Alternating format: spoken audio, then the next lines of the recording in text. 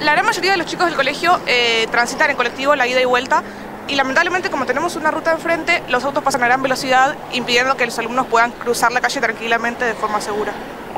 ¿Han sufrido algún accidente alguna vez o la han pasado bastante mal para poder cruzar la calle y poder tomarse los colectivos? Sí, hemos visto a varios chicos que se han caído en plena ruta tratando de cruzar rápido y evitando que los autos le pasen por encima, chicos que se han resbalado con el hielo cuando es invierno y realmente es un peligro para todos. Imagino que representás la, la, voz de la mayoría de los estudiantes. ¿Te han consultado mucho por este tema? Sí, esta es una propuesta que tenemos desde el año pasado y cuando la propusimos mucha gente estuvo muy interesada y trataron de hacer el seguimiento para ver en qué momento se iban a instalar. Podemos decir que van a tener una vuelta al colegio más segura a partir de ahora. Sí, por suerte sí.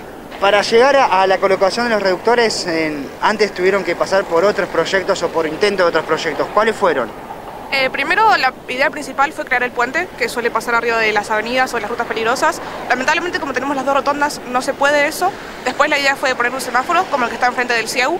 También las rotondas no lo impidieron, entonces llegamos a la conclusión de que el reductor iba a ser lo ideal y lo más viable para poder utilizarlo. ¿Y por suerte contaron con el apoyo de la municipalidad? Sí, desde el primer momento nos hicieron saber que apenas llegaban los reductores los iban a instalar y así fue, primero pusieron el de Hipólito Yrigoyen y después el nuestro, así que estamos bastante agradecidos por eso.